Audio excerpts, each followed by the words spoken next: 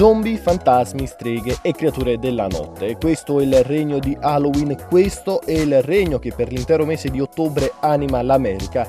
Una festa che originariamente era legata alle culture degli immigrati ed alla fede religiosa personale. Al termine del secondo conflitto mondiale i bambini si impossessarono della festa grazie anche alle aziende che dedicarono a loro tutta una serie di costumi, dolci e gadget trasformando la festa di Halloween in un affare commerciale.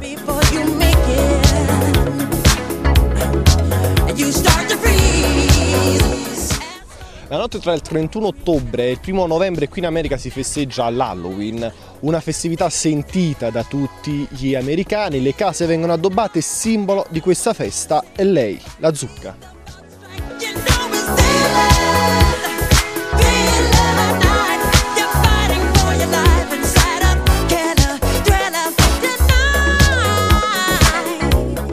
Se la notte tra il 31 ottobre ed il 1 novembre in tutta l'America si celebra la grande notte di Halloween con i bambini che girano per le strade per il tipico dolcetto o scherzetto, c'è una cittadina dove i festeggiamenti proseguono fino al 2 novembre. Questa cittadina è Salem, capoluogo dell'Essex nello stato del Massachusetts, conosciuta da tutti come la città delle streghe, una fama dovuta ai processi delle streghe che avvennero nel 1692.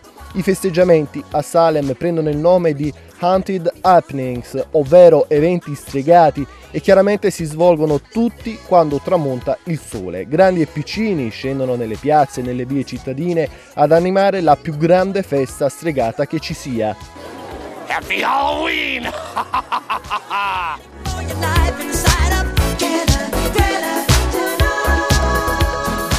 A chiudere i festeggiamenti di Halloween a Salem è il Gran Ballo delle Streghe, durante il quale si può vedere ed ascoltare un rituale sacro di tamburi molto suggestivo e adatto alla tematica spaventosa e accattivante che rende questa città così speciale.